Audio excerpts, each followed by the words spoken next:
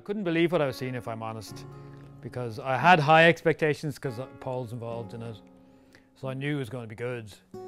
But but I didn't think it would actually look like a real movie that you could walk into. I mean, how is that possible for people to make a movie of this standard themselves? But it, it obviously is. So my first impression was, wow, this is like a real, this is a real movie that could win major awards anywhere in the world.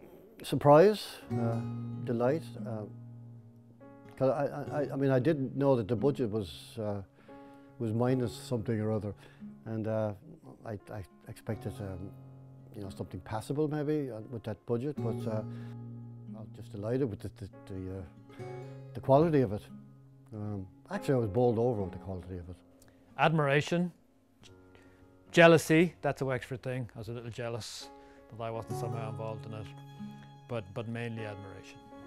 I don't think we've seen anything quite like this. Well, we have seen uh, things like this before, but it's been a long time. It's, it has universal themes uh, of love, of loss, of ambition, of that feeling of being stuck and that you just cannot get out of where you are. So I think anyone who watches this movie would be touched by it. Uh, We, we certainly were looking at a, a new voice in cinema. Think Paul has found his uh, has found his niche now. And to see all that encapsulated in such a beautiful and lush uh, package, it's, it's kind of irresistible.